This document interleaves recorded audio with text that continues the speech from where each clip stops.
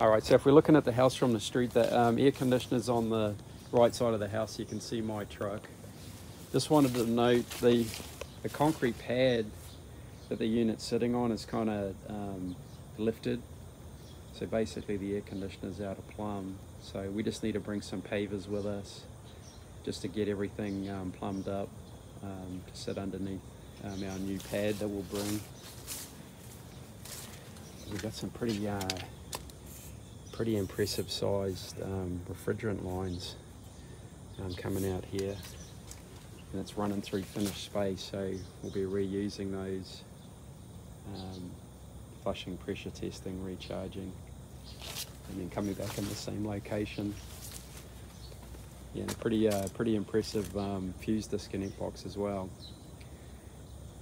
Um, so we'll be updating that at the same time. That's it